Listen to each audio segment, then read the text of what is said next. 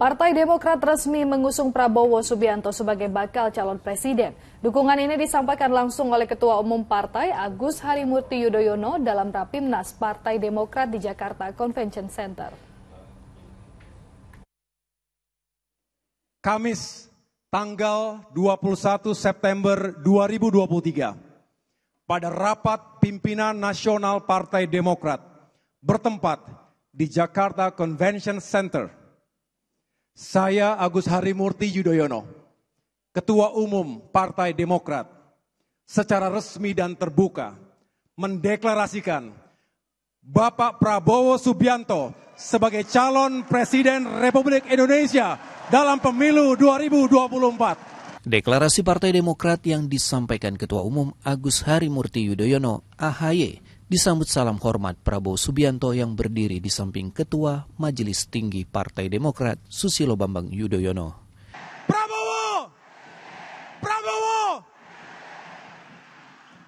Terima kasih, Tuhan bersama kita. Setelah deklarasi AHY, suasana Jakarta Convention Center pun bergemuruh.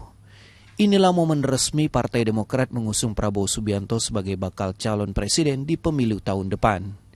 AHY menilai Prabowo merupakan pribadi yang pantas didukung karena memiliki jiwa kepemimpinan. Selain itu, menurut AHY, Prabowo dapat merangkul seluruh kalangan, dari kalangan moderat hingga nasionalis religius. Sementara usai Demokrat melabuhkan dukungan, Prabowo pun mengaku terharu. Dengan dukungan tambahan dari partai yang dinakodai AHY saat ini, Prabowo menjamin tidak akan mengecewakan koalisi yang merusak kepercayaan yang diberikan. Saya hanya bisa mengatakan bahwa saya menerima keputusan ini.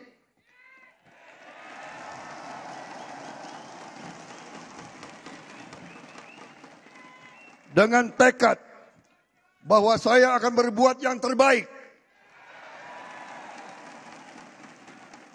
Saya akan memberi segala yang ada pada diri saya agar kepercayaan tersebut tidak saya kecewakan.